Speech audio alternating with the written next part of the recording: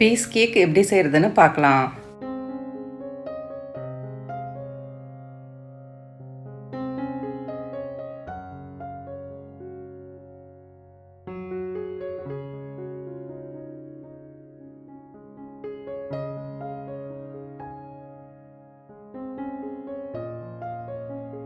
Seven inch square tin எடுத்து oil தடவி grease பண்ணி பட்டர் பேப்பர் போட்டு எடுத்து வச்சுக்கிறேன். இந்த கேக் பேக் பண்ணுறதுக்கு ஸ்கொயர் டீனு தான் கரெக்டாக இருக்கும்.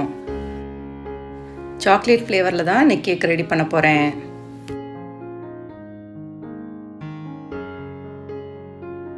maida baking powder baking soda cocoa powder. இது எல்லாத்தையும் சேர்த்து நல்லா சளிச்சு எடுத்துக்கிறேன். சாக்கோவில் பிராண்ட் கொக்கோ பவுடர் தான் நான் யூஸ் பண்ணுறேன் இது நல்ல டார்க் கலரும் டேஸ்ட்டும் ரொம்ப நல்லாயிருக்கும் ரெண்டு முட்டை கூட வெனிலா எசன்ஸ் ஒரு டீஸ்பூன் சேர்த்துக்கிறேன். ஸ்லோ ஸ்பீட்லேருந்து பீட் பண்ண ஆரம்பிக்கிறேன். ஒரு நிமிஷத்துக்கு அப்புறம் ஃபுல் ஸ்பீடில் வச்சு முட்டையை பீட் பண்ணிக்கிறேன்.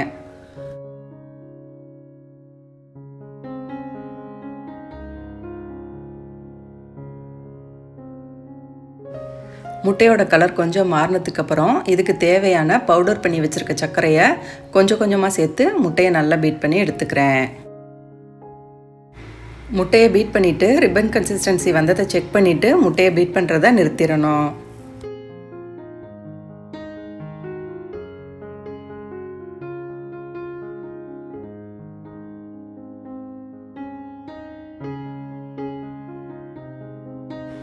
ரொம்ப பீட் பண்ணிட்டீங்க அப்படின்னா கேக் பேக் ஆகிறதுக்கு ரொம்ப டைம் எடுக்கும்.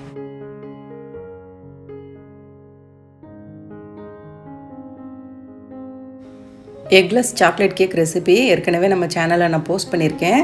தேவைப்படுறவங்க செக் பண்ணி பார்த்துக்கோங்க.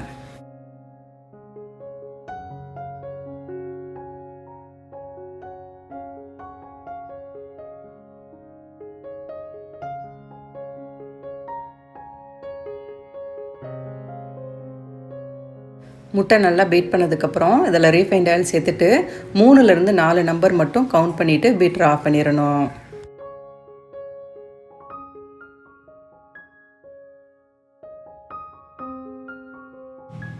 சளிச்சு வச்சுருக்க மாவை வயர் விஸ்க் வச்சு நல்லா மிக்ஸ் பண்ணிக்கிறேன். இந்த மாவை பேட்டரில் சேர்த்து நல்லா கட்டி இல்லாமல் மிக்ஸ் பண்ணி எடுத்துக்கலாம். மூணு பேட்சஸாக பிரித்து கொஞ்சம் கொஞ்சமாக மாவை சேர்த்து பேட்டரை மிக்ஸ் பண்ணி எடுக்கணும். வெனிலா கேக்கை விட சாக்லேட் கேக் வந்து டக்குன்னு ஓவர் மிக்ஸ் ஆயிரும். அதனால் கொஞ்சம் கவனமாக ஃபாஸ்ட்டாக மிக்ஸ் பண்ணி எடுத்துக்கிறணும்.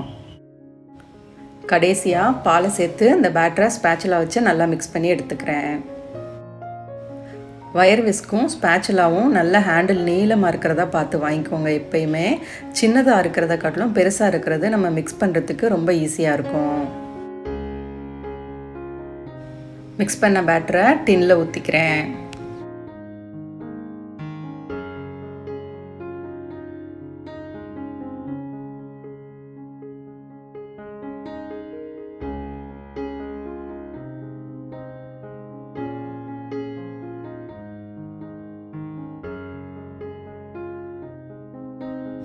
ஒன் எயிட்டிக்கு பத்து நிமிஷம் ப்ரீஹீட் பண்ண ஓடிஜியில் இந்த பேட்டரை வச்சு இருபத்தஞ்சிலேருந்து முப்பது நிமிஷம் பேக் பண்ணி எடுத்துக்கலாம்.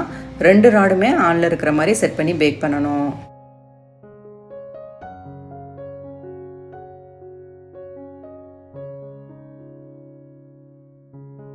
கேக் ரூம் டெம்பரேச்சருக்கு வர வரைக்கும் ஒரு துணி வச்சு மூடி வச்சுக்கலாம்.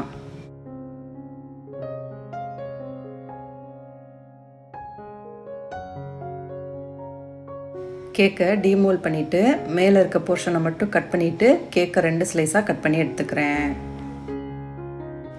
இந்த கேக் ஐசிங் பண்ணுறப்ப ரெண்டு லேயர் கேக்கும் ரெண்டு லேயர் க்ரீமும் தான் கிடைக்கும். ஒருவேளை மூணு லேயர் க்ரீமும் மூணு லேயர் கேக்கும் வேணும் அப்படின்னா நீங்கள் six inch square tin use பண்ணிங்கன்னா கரெக்டாக இருக்கும்.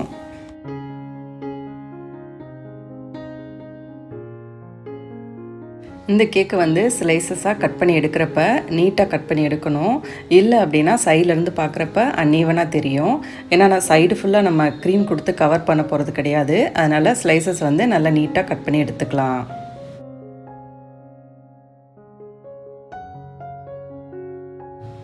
மேலே இருக்க லேயரை கட் பண்ணி எடுத்துக்கிறேன்.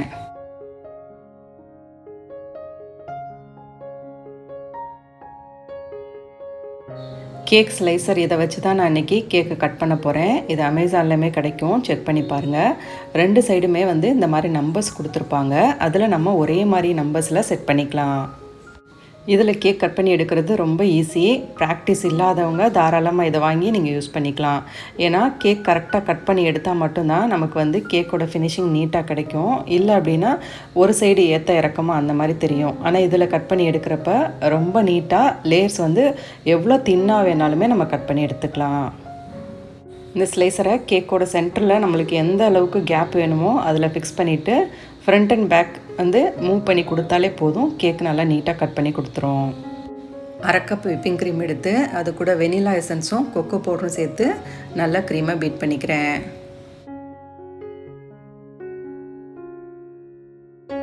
க்ரீம் கொஞ்சம் பீட் பண்ணதுக்கப்புறமா ஐசிங் சுகர் சேர்த்துட்டு க்ரீமை நல்லா பீட் பண்ணி எடுத்துக்கலாம். நார்மலாக அரை கிலோ கேக் ஐசிங் பண்ணி எடுக்கிறதுக்கு ஒரு கப் வரைக்கும் க்ரீம் தேவைப்படும். ஆனால் நம்ம சைடு ஃபுல்லாக இன்றைக்கி கவர் பண்ண போகிறது கிடையாது. அதனால் அரை கப் க்ரீமே சரியாக இருக்கும்.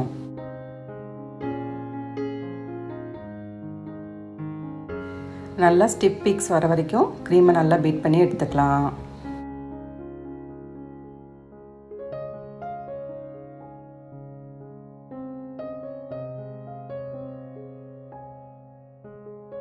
கேக் ஐசிங் பண்ணிக்கலாம். கேக் ஒரு லேயர் வச்சுட்டு சுகர் சிரப் சேர்த்துட்டு அது மேலே க்ரீம் ஃபில் பண்ணிக்கலாம். க்ரீம் இன்றைக்கி நான் பைப்பிங் பேக்கில் ஃபில் பண்ணி அதுக்கப்புறமா தான் ஐசிங் பண்ண போகிறேன் ஏன்னா சைடு ஃபுல்லாக ஃபினிஷிங் நீட்டாக கிடைக்கணும் அப்படின்றதுக்காக. நிறைய பேர் வந்து பீஸ் கேக்குக்கு எப்படி நம்ம ரேட் ஃபிக்ஸ் பண்ணுறது அப்படின்னு கேட்குறீங்க நார்மலாக ஒரு கிலோ சாக்லேட் கேக் வந்து எண்ணூறுரூபாய்க்கு கொடுக்கலாம். கேக்கெல்லாம் ஐசிங் பண்ணி முடிச்சதுக்கப்புறம் கேக்கை பீசஸாக கட் பண்ணிவிட்டு ஒரு பீஸோட வெயிட் எவ்வளோ வருது அப்படின்னு செக் பண்ணிக்கோங்க. ஒரு பீஸோட வெயிட் வந்து நூறு கிராம் வருது அப்படின்னா அறுபதுலேருந்து எழுபது ரூபா வரைக்கும் ஒரு பீஸ் கொடுத்துக்கலாம். இந்த மாதிரி வெயிட் பேஸில் கேக் ஃபிக்ஸ் பண்ணிங்கன்னா தான் உங்களுக்கு ஈஸியாக இருக்கும்.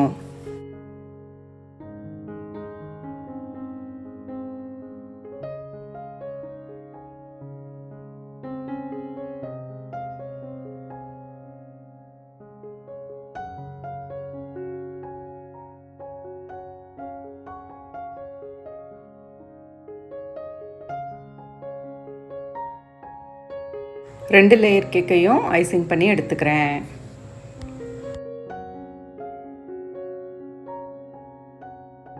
ஐசிங் பண்ணி முடிச்சதுக்கப்புறம் ஃப்ரிட்ஜில் ஒரு அரை மணி நேரம் செட் பண்ணிவிட்டு அதுக்கப்புறமா கேக்கை கட் பண்ணிக்கலாம்.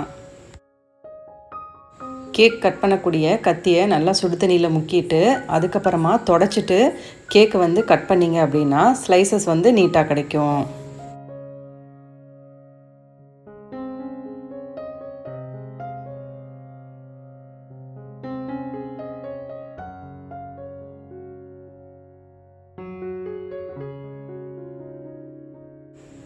பண்ணி முடித்ததுக்கப்புறம் ஒரு ஒரு பீஸ் கேக்லேயும் சின்னதாக ஒரு டிசைன் போட்டுக்கிறேன்.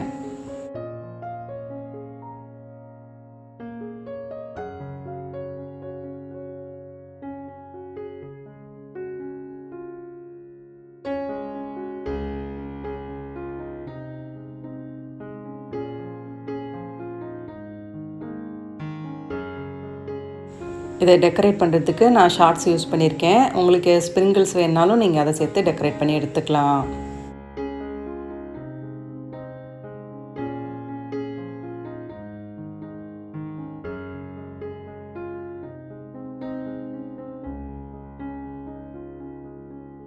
போர்டு வெயிட் கழிச்சது போக கேக்கோட வெயிட் நானூற்றம்பது கிராம் இருந்துச்சு. ஒரு பீஸ் ஐம்பது கிராம் இருந்துச்சு. எனக்கு கிறிஸ்மஸ் ஆர்டராக இந்த காம்போ பேக் வந்து நாற்பது பீஸ் ஆர்டர் வந்துருந்துச்சு. இது ஏற்கனவே நான் போன வருஷமே போஸ்ட் பண்ணியிருந்தேன். இந்த காம்போ பேக் எப்படி ரெடி பண்ணுறது அப்படின்றத. இதில் ஒரு பீஸ் ப்ரௌனி ப்ளம் கேக் கீ கேக் அது கூடயே பனானா கப் கேக் இது எல்லாம் சேர்த்துருந்துச்சு. இது கூட நான் வந்து ஒரு ஃபைவ் ஸ்டார் சாக்லேட்டும் வச்சு பேக் பண்ணி வெள்ளிக்கிழமையே டெலிவரி கொடுத்துட்டேன். ஒரு பாக்ஸ் இரநூத்தி எழுபது ரூபாய்க்கு கொடுத்தேன். இது கூடயே அடிஷ்னலாக இன்னும் ரெண்டு ஐட்டம் சேர்த்து கொஞ்சம் பெரிய பேக்காகவும் ஆர்டர் பண்ணியிருந்தாங்க. அவங்களுக்கு ரெண்டு பீஸ் ப்ரௌனியும் இது கூட ஹோம்மேட் குக்கீஸும் வர மாதிரி நான் ரெடி பண்ணி கொடுத்துருந்தேன். அது ஒரு பத்து பேக் வந்து ஆர்டர் பண்ணியிருந்தாங்க. இதோட ப்ரைஸ் வந்து முந்நூற்றி எழுபது ரூபாய்க்கு நான் கொடுத்தேன். இது எல்லாமே வெள்ளிக்கிழமை காலையில் டெலிவரி கேட்டிருந்தாங்க. அந்த டைமே ரெடி பண்ணி நான் எல்லாத்தையும் பேக் பண்ணி கொடுத்துட்டேன். இது கூடயே ப்ளம் கேக் வந்து கால் கிலோ பேக்காக ஒரு எட்டு கிட்ட கேட்டிருந்தாங்க. ப்ரௌனீஸும் ஆர்டர் வந்துருந்துச்சு. இது எல்லாமே ரெடி பண்ணி கொடுத்துட்டேன். இது எல்லாமே செய்கிறதுக்கான வீடியோ நான் நிறைய போஸ்ட் பண்ணியிருக்கேன். செக் பண்ணி பாருங்கள்